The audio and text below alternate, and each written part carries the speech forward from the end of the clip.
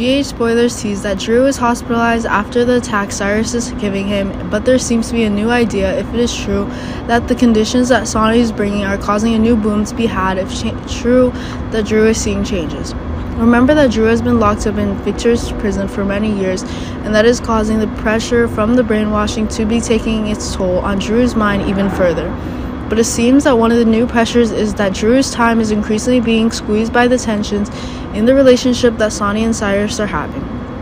But as Drew is being beaten in Pentonville, this is proving to be one of the new controls that are increasingly being asserted. But if one of the linked memories that Drew is having is being activated, remember that Drew and Jason are twins, and in the past with Faison's experiments,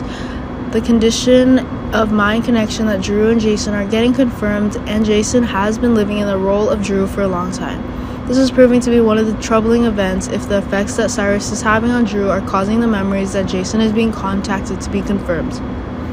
Remember that the mission that Drew is wanting Sonny is wanting Drew to receive is to track Cyrus, and while this is a disaster being confirmed, Sonny himself cannot wait, and it is proving that the tax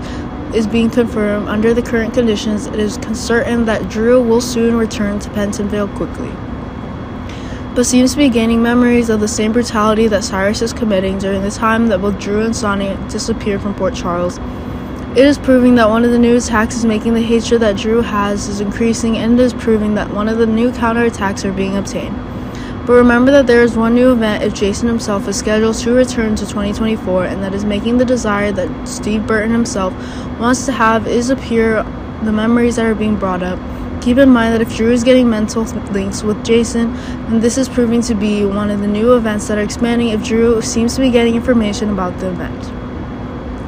The life that Jason is having, remember that the evidence of life that Jason is having is still one of the big beliefs for the people on the show, and as things go far, far further, this is proving to be exactly one of the thoughts that Drew and Carly themselves are really strong on. If Carly is aware of Drew's inf- transformation, then this is proving to be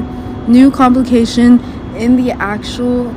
conditions at hand. But it seems that if one of the uh, events that Drew may be pitching to Cyrus is a revenge option, this is proving to be one of the new disasters that is increasingly being confirmed.